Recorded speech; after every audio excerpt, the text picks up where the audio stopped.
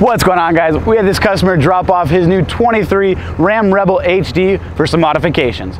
First up was some added protection. We decided to go with our SDHQ built intercooler skid plate system as well as our billet ABS guards.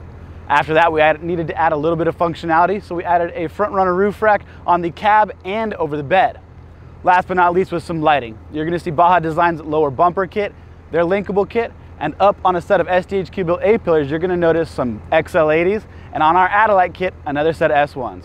All of these lights are controlled by a switch pros mounted in the cab with our SDHQ built interior mount, our underhood power module mount, and a set of built battery terminals to tie it all together. If you guys are looking to get your Ram done up, make sure to reach out to us at help at sdhqoffroad.com. Like always, appreciate you watching. We'll see you in the next one.